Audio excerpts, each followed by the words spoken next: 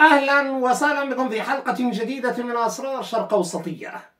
عندما تحدثت يدعوت أحرانوت نقلا عن المسؤولين الإسرائيليين في تقييم مباشر لما سمي بجناح صهيون فإن 99% كل الهجمة الإيرانية اعترضت إلا واحد في المئة. 99% تم اعتراضها هذا الرقم غير الذي تتبناه أمريكا في واقع الأمر وتصل إلى حوالي 12.35% وعلى كل حال فمن كسر من هو هذا الصاروخ الذي كسر لوحده؟ بواحد في المئة الدفاعات الجوية وآخر ما لدى الولايات المتحدة الأمريكية فرنسا بريطانيا آخر تكنولوجيا الغرب شاركت في الاعتراض. فما هو هذا الصاروخ الذي كسر هذه العقيدة الغربية القوية جدا؟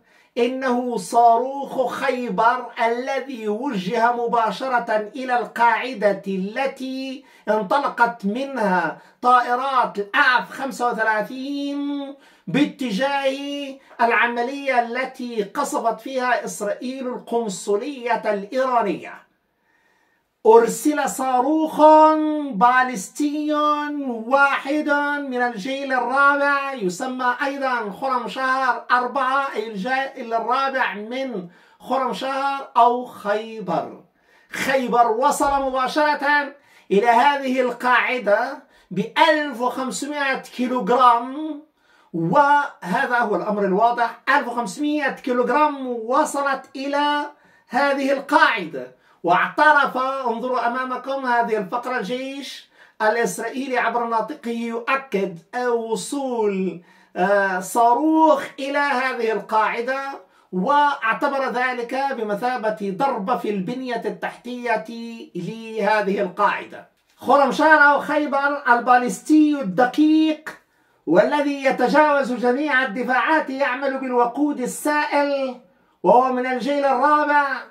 لمدى الألفي كيلومتر ب 16 مخ 16 ضعف سرعة الصوت كما هو معهود ومعلوم أن لديه محرك إيراني بتصنيع مباشر محلي.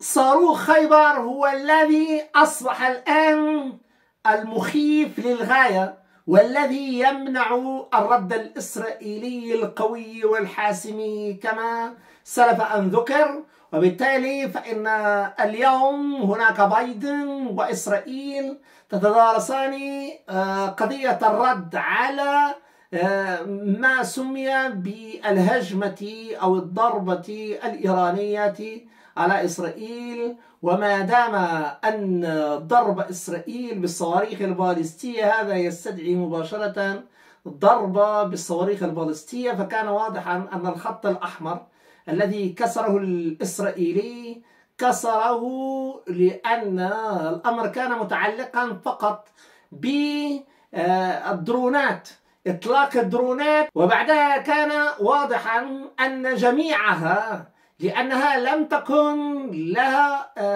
تقنية عالية. إذا إمكانية اعتراضها قائمة وبالتالي فإن الأردن شاركت بطائراتها في إسقاطها. دول عربية أخرى ضمن التحالف الأمريكي كل الأجواء شاركت في إسقاط هذه المسيرات. وعلى العموم الآن فإن إيران أنهت هذه المهمة ردا على ما حدث لسفارتها.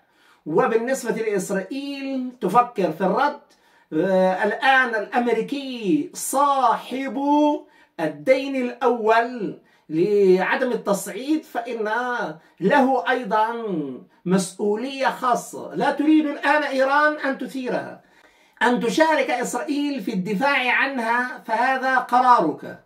أيضا لن أتدخل في اعتراض ما يجب أن تحميه لكن بالنسبة لوضعية المختلفة وضعية المشاركة مع إسرائيل في أي ضربة في العمق الإيراني. مصدر النيران سيكون بالتدمير المباشر. وهنا فإن الواضح ما هي الدرونات التي شاركت. هي أقل الدرونات. إذا هذا كان أمرا بارزا. ومعلوم أن الدرونات قابلة بعد هذه الساعات من الإطلاق وإلى الوصول إلى الهدف. كل هذا يأخذ وقته وأيضا بالنسبة للأمريكيين فقد استخدموا آخر ما لديهم خصوصا بالنسبة للحدس الشيء الثالث وهذا الصاروخ الذي يمكن أن يعترض من خارج الغلاف الجوي بالنسبة لمحاولة تضخيم أرقام الصواريخ البالستية والأمر لا يتعلق بأكثر من 100 صاروخ على العموم وهو قابل للاعتراض. لكن في نفس الآن فإن خيبر هو الذي أطلق من أجل عدم الاعتراض. أطلق ويجب ألا يتم اعتراضه وفعلا وصل إلى هدفه ووصل إلى ضرب هذه القاعدة التي انطلقت منها الطائرات التي استهدفت القنصلية. فكانت هذه الإشارة المباشرة بالنسبة للبالستي بالوقود السائل خيبر أو خرم شهر أربعة. إذا هذا هو التطور المركزي لإقفال آه، الضربة الإيرانية. واليوم إسرائيل والولايات المتحدة تفكران معا في الرد على إيران. وهنا لابد من التأكيد أن مصادر النيران ستتعاطى معها وبشكل مباشر. إيران وأن حالة الاستعداد عالية تماما كما كان الحال بين الأمريكيين وما بين البريطانيين ونزول قوات فرنسية كما تقول وول ستريت جورنال القوات الفرنسية على أرض إسرائيل وهذا هو التطور الاستثنائي الطائرات البريطانية كانت تحلق وأيضا تقصف في الدرونات الإيرانية. هناك ثلاث دول عربية بالإضافة إلى بريطانيا فرنسا وأيضا الولايات المتحدة الأمريكية كما هو معلوم والإسرائيلي. إذا نحن نتحدث عن آه، جبهة واضحة ما يسمى بجبهة السبعة. والسبع دول هذه هي التي شاركت بشكل مباشر في إبعاد هذه الردود الآن ليس هناك هجوم مركب عبر المئة للمئة لأن لا رد ناري إلى الآن بالنسبة للولايات المتحدة الأمريكية. الولايات المتحدة الأمريكية آه، لم تعتبر أن حالة الإطلاق في نفس الأجواء ما يحدث بين حزب الله وإسرائيل جزء من هذه المعركة. فصلت الضربة عن العمليات المتواصلة ما بين حزب الله ولبنان.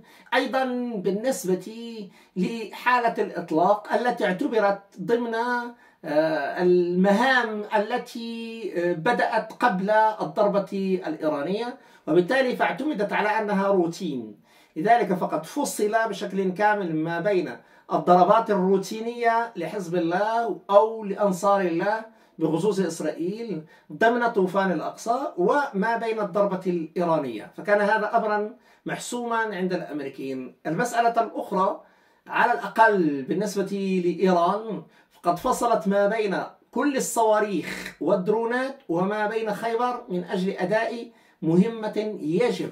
أن يصل إليه الإيراني وقد وصل إليها بإطلاق صاروخ موجه إلى قاعدة وإعلان هذه القاعدة والوصول إليها مما يعني أن كل الدفاعات الجوية الإسرائيلية والأمريكية لا تستطيع أن آه، تقوم باعتراض خيبر. إذا هذا هو الصاروخ الذي إن أطلق على إسرائيل مثلا فيمكن تدمير أغلب الأهداف التي آه، وضعت في الأجندة سيصل إليها الإيراني.